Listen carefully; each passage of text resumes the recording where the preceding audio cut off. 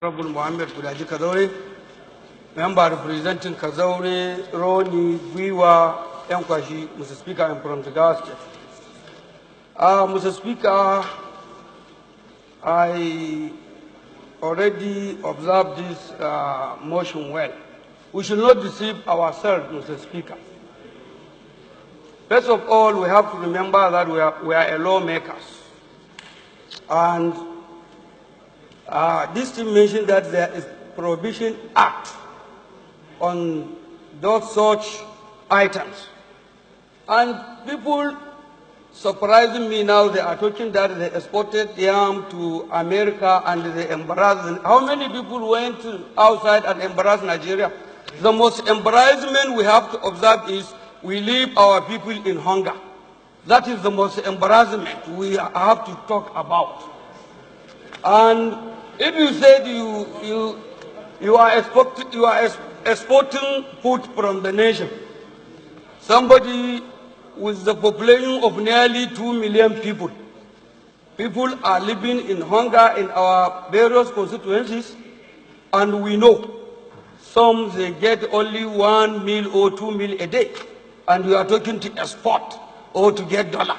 If you get the dollar, what are you going to do with it? Are you not going to use it to do welfare to the citizens of the country? So uh, when we come, we have to remember as a representative of the people, we have to talk the what is the reality. Our people are living in hunger. About three weeks back, I sent my boy to go and buy yam for me. He brought me 30 pieces of yam, as each one 1,300 naira. How can a poor man can get opportunity to eat yam if you continue exporting it? If you say that that that is why the economic is good, but what you will observe is, did you eradicate hunger from your people before you start exporting food from your country? Now you put a ban on exporting and importing rice and others. So you, you have millions of people in, in, in, uh, hanging around. And now you say you will not import food. Now you will export your own. And you stop importing. So you want our people to die. That is, that is the reality. You want our people to die.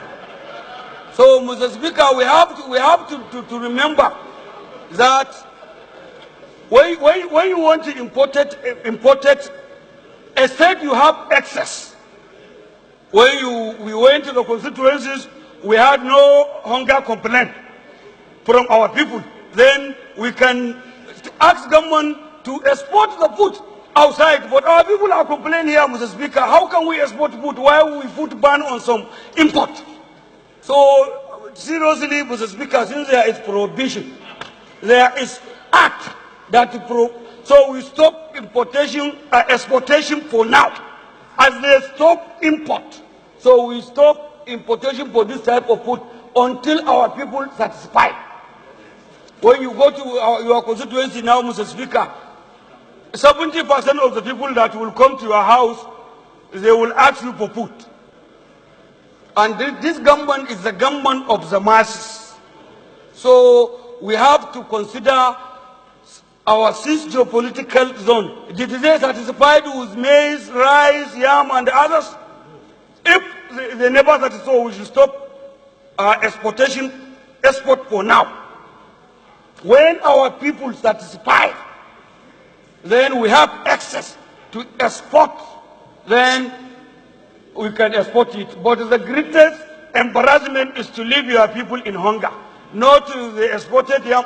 If you export yam before you finish uh, clearing from the custom to export it to America, it will take you about seven, eight weeks to America. So definitely the yam will spoil. So, uh, so and if you if you send that yam to northeast, northwest, north central, north, uh, the differences are our people will buy in the cheap price and hunger will be eradicated. So now you export it, America say this thing done is, is damaged. So now they will throw it in the sea maybe, and you, you leave your people in poverty. So there is no, there is no important in, in, these issues. So, Mr. Speaker, since there is this, we have to stand as a lawmakers. We have to stand on this issue of Prohibition Act because we are lawmakers. We will not breach what is law as a lawmakers. So, Mr. Speaker, me, I, I, I, my contribution is our people are in hunger. So we have to, change this custom now, if you go my constituency, before each and every one kilometer, you will see custom gate. If an every one kilo, custom gate, custom gate from Kazaure to Daura to the, to, to the Niger border. You will see them when you come even with the three, three sacks of rice, they will arrest you and say, where you get it? Why you buy for your family? Since they, they, they, they put this import ban, so we have to stop something export for now until our people satisfied. Thank you very much, Mr. Speaker. That is my contribution.